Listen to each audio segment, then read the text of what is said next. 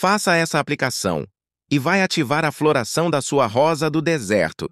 Se você tem uma rosa do deserto que não solta flores, faça isso. Fica até o final do vídeo. Vou te dar dicas de cuidado com essa planta. Pega uma beterraba e pique em pedaços desse jeito. Em um liquidificador, coloque um litro de água, os pedaços da beterraba e vamos colocar uma colher de carvão vegetal triturado desse jeito. Bata tudo por dois minutinhos. E se você gosta de vídeo como esse, comente adubo. Caso queira mais vídeo de adubo caseiro e orgânico desse jeito, pronto, nosso adubo está pronto, basta coar em uma peneira fina.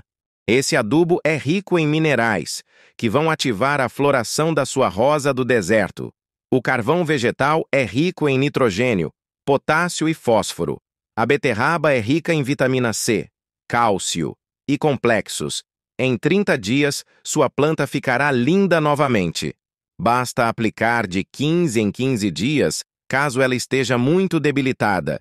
Em uma planta saudável, aplique de 30 em 30 dias. Gostou da nossa dica? Compartilhe com seus amigos.